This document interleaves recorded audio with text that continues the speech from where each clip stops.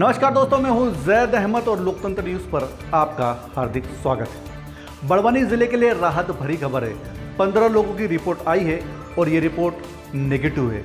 यानी इन लोगों में किसी प्रकार का कोरोना संक्रमण नहीं पाया गया। ये लोग दस बड़वानी के हैं और पाँच लोग सेंधवा के जिसमें से अधिकारी, कर्मचारी, स्वास्थ्य विभाग के लोग और वो लोग हैं जो कोरोना पॉजिटिव पाए गए लोगों के कांटेक्ट में आए थे। यानी एक राहत भरी खबर है। जो कुछ रिपोर्टें बाकी है, वो दो तीन दिन में प्राप्त होने की संभावना है। लोकतंत्र न्यूज़ आपसे अपील करता है कि प्लीज़ धैर्य बनाए रखें, घरों में रहें, गाइडलाइंस का पालन करें।